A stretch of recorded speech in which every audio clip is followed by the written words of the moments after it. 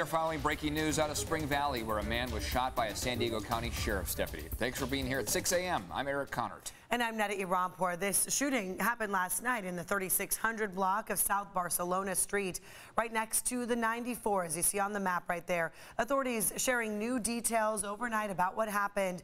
CBS 8's Dana Marie McNichol live at the scene now. It has been hours. Dana Marie, what's the latest?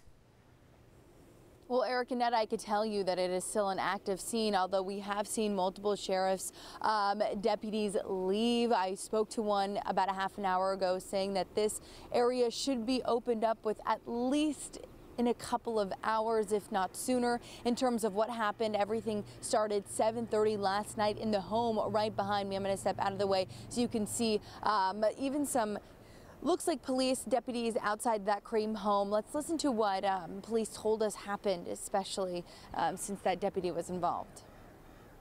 Uh, deputies received a call here at the 3600 block of South Barcelona uh, about a uh, male threatening people with uh, some sort of uh, metal bar here uh, at, at, a residence. Um, deputies responded when they got here.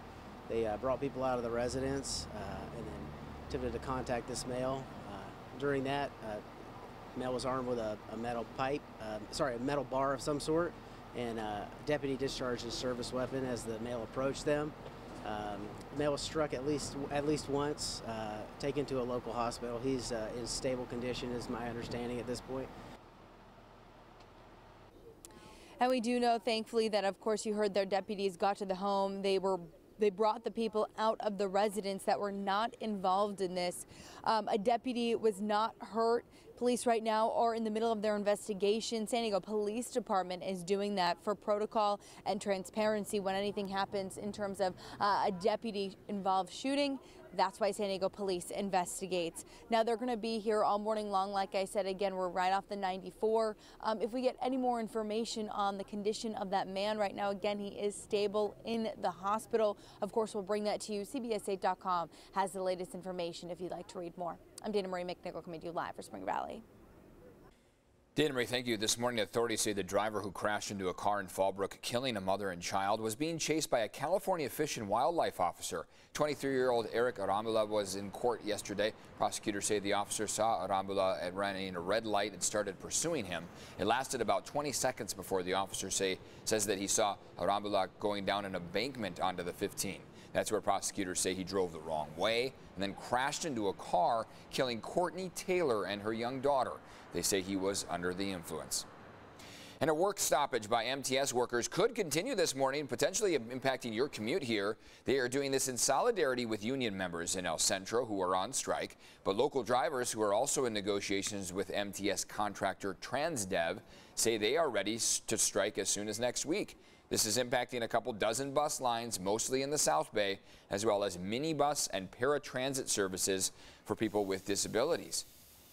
They have doctors appointment, they have other places to go, and they want to go shopping and everything and they need to get out. How they gonna get out? You know what I mean? You can go to CBS8.com to see all of the bus lines impacted by this. This morning, the fentanyl crisis will be in the spotlight in Sacramento. The State Assembly's Public Safety Committee holding a major hearing on several bills related to fentanyl, some of them focusing on increased penalties. On the Senate side, a proposal to hold drug dealers accountable has failed to move forward. A new push this morning to reduce the number of migrants traveling to our border. Today, the White House expected to announce new immigration processing centers in Latin America. That's what sources are telling CBS News. Now, these new facilities would help screen people to see if they qualify to enter the U.S. legally before they make the trip all the way up north. This all comes amid a new report from the Associated Press that migrants are waiting a decade now just to get a court date. A decade. The AP says immigration offices are so overwhelmed, some asylum seekers have to wait 10 years to see a judge. The report blames the backlog on a Biden rule that released migrants quickly to avoid overcrowding at detention centers.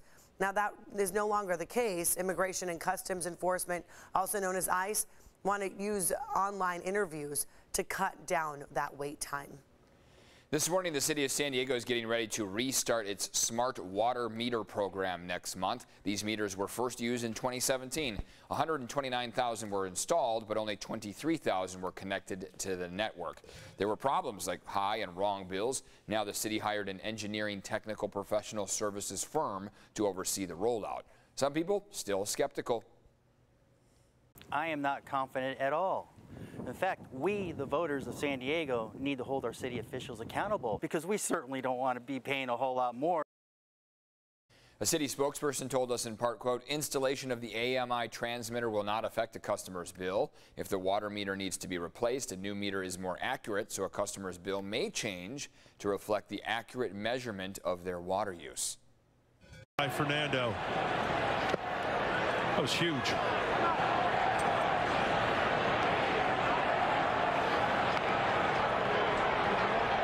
Is that the griddy right there?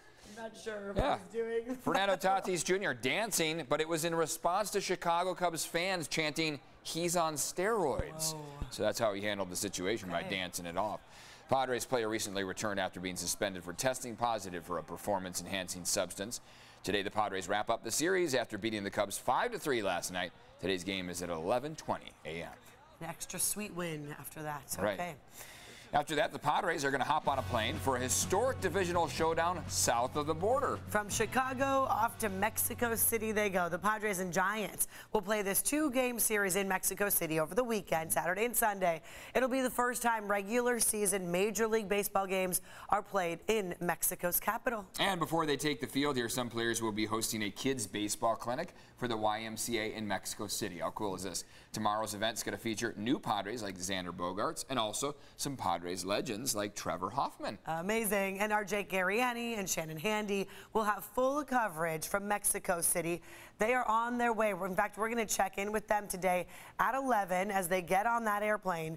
Coming up here at 6:30 this morning, we have your guide to Mexico City if you are one of the lucky ones traveling that direction. Oh, it's going to be such a fun weekend in Mexico. Absolutely. There's Woo. probably going to be some uh, watch parties here. Right, Maybe right, outside. Evan. We can set up the TV and cheer them on here.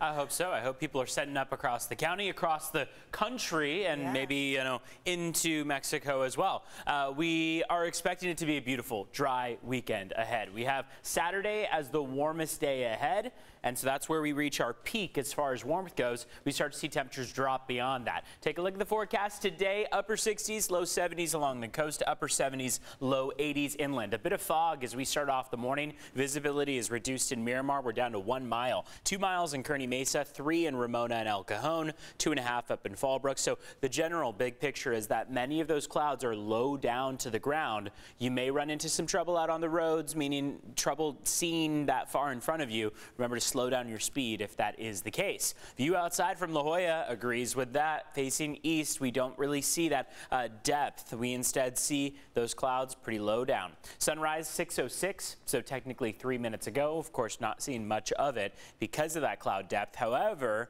we're going to see more of that sun beaming on down on us by about the 9, 10 a.m. hour, very similar to yesterday in terms of when we'll see that marine layer start to break apart. Walking out the door, we're in the 50s, couple 40s. Ramona's at 43 right now, 54 in Poway, 56 in Del Mar. Compared to 24 hours ago, we are colder. However, we're just around that average marker still. So.